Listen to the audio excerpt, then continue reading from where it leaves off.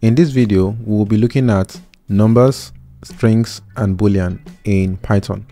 Okay, so let's start up with numbers. So Python has three different kind of numbers. It has int, and int is majorly integer, and they are whole numbers, positive, negative, without decimal. And then we have floats. Floats are floating numbers uh, with decimals. Uh, they can be negative or positive. And then we have the complex type. We will not be talking about the complex type. So let's take a look at an example of numbers. We can have, let's say, length. Length can be 34. Then we can say width 40. So these are examples of integers.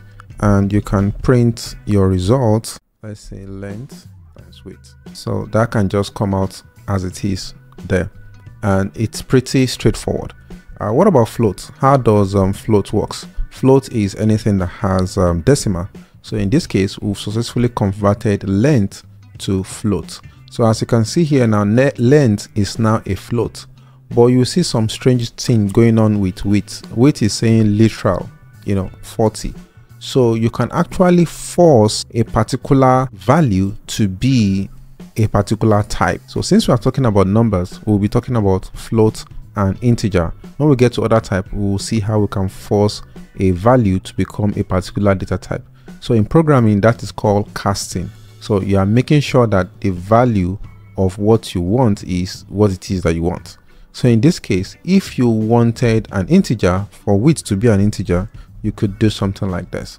And um, what you've done is you use a function called int to force your width to become an integer which doesn't really change anything only that in this case is just being sure that your variable width is now an integer so let me show you where to make more sense. So let's say we have another variable that says area. And um, that variable you can then do length times breadth becomes your area.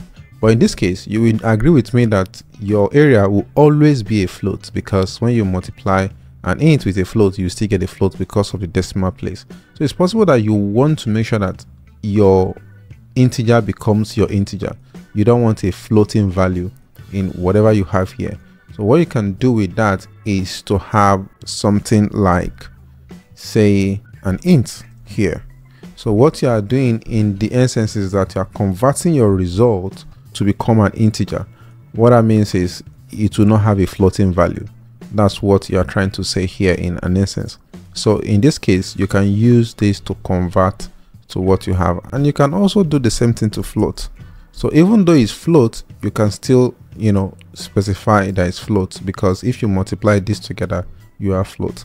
So this is you explicitly stating that you want this item to be float and it then treats it as such as float because it's possible that the value coming in you might not have access to know the value coming in.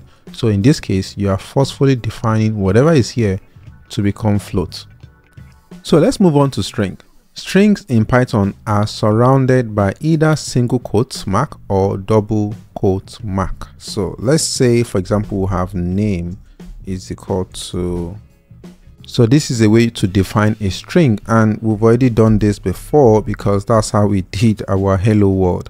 So you can print out your string this way.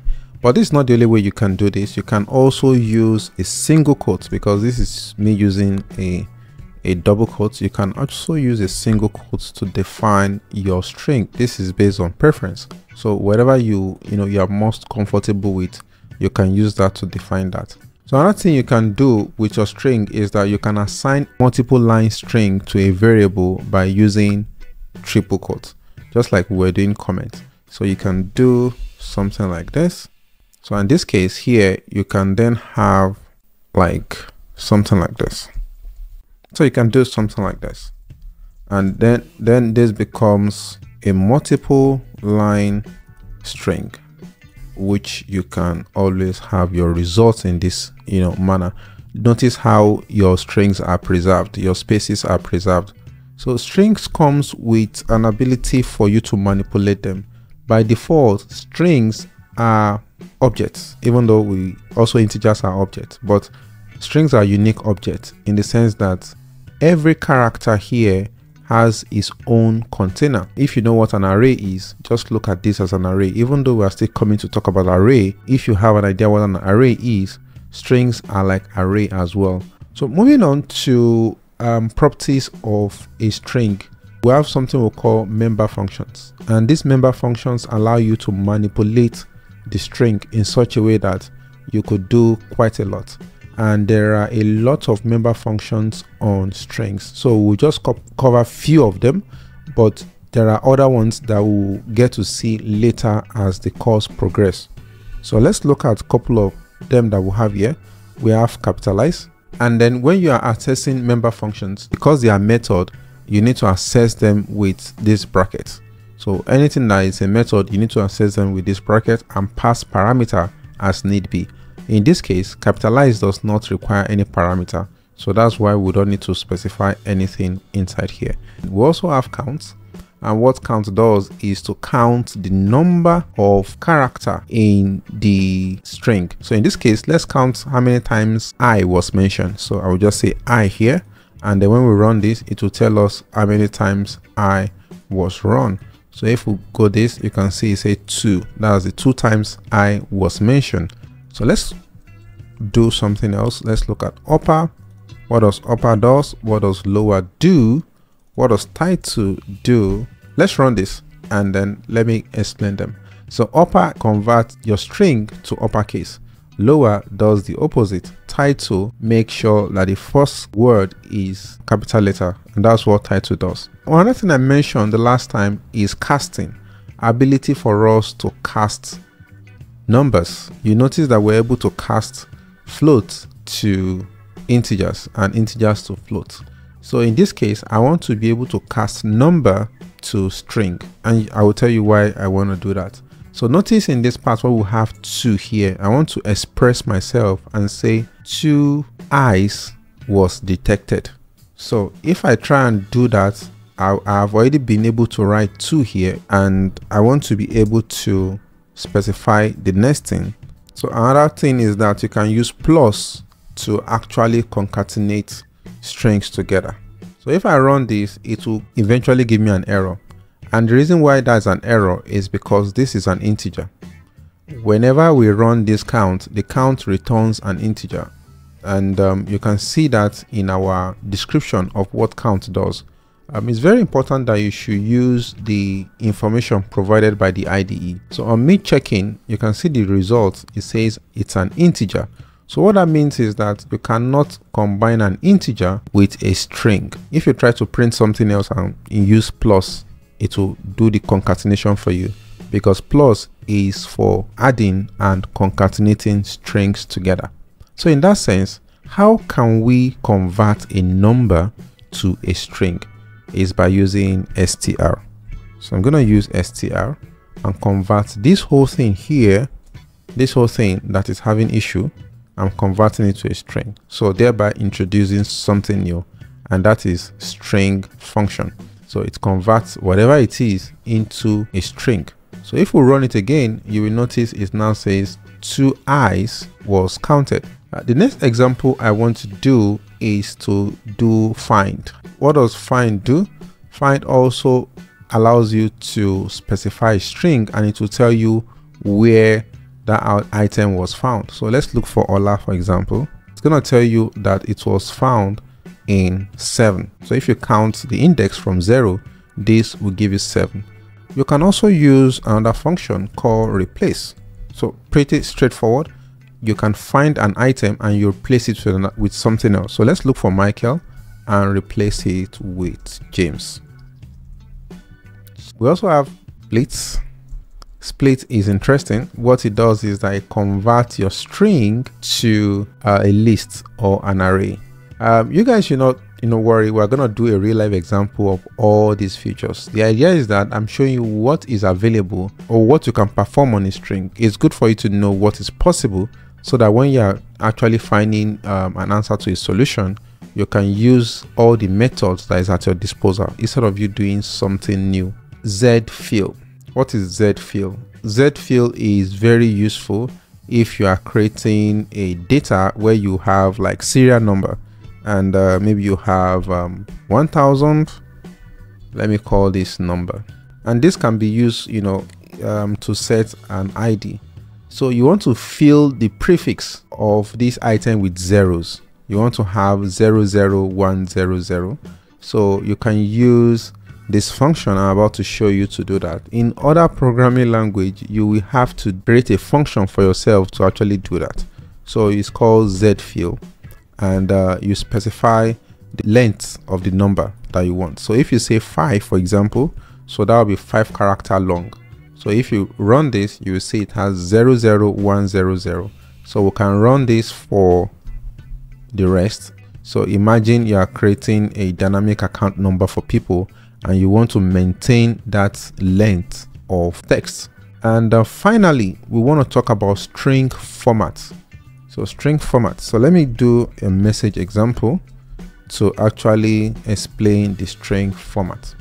So I have this message here and the reason why I did it like this is such that I want some parts to be a variable. Uh, I'm sure that you guys have received mail whereby you will see maybe a newsletter sent to you. Um, hope you know that, that those newsletters are not crafted sent to you alone. They are sent to millions of people. And this can be an example of such kind of a newsletter.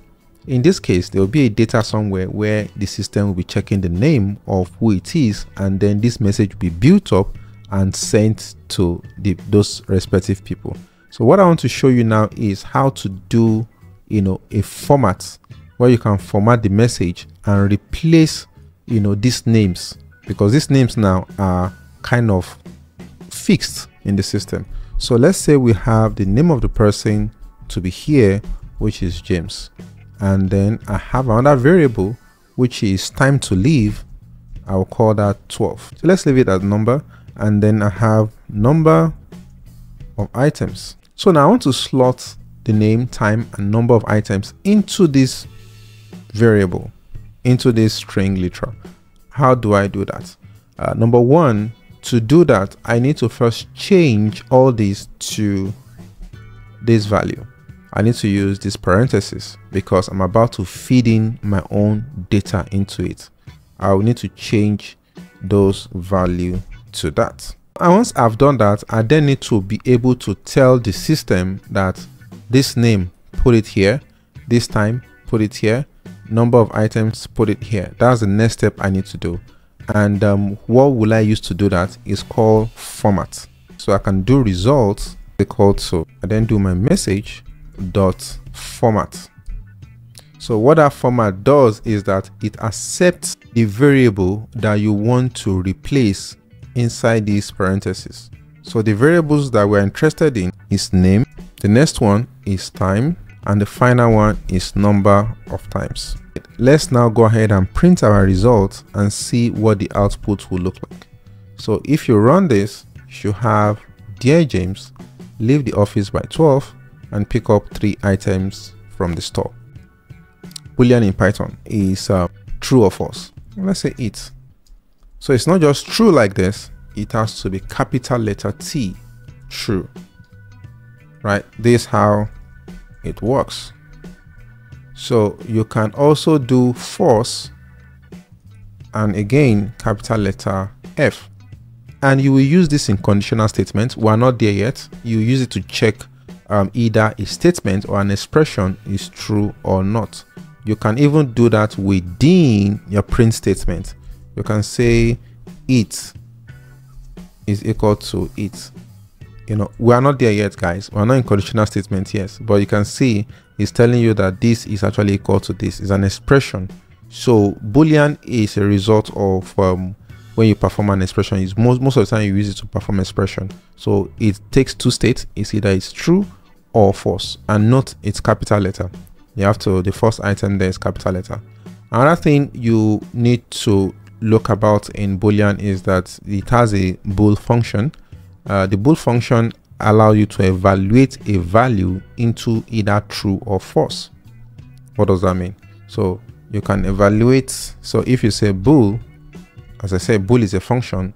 It accepts anything. Whatever you pass there, it's, it's going to determine if that thing is true or not. So let's say we have j, and that's the funny thing about the bool function. It's to say true So anything that has a value will be a true apart from zero or blank. So this will be a false because it's blank. Then this will be a false because it's zero. Then anything one, two, three like this because it has something is a true. And um, there are quite a lot of examples, you know, that are out there that you can use because we've not talked about other type. We will just ignore those other type. These are another type. These are an empty collection. Also, uh, you can also provide an array because it's empty. It will tell you false but if it has data inside it will tell you true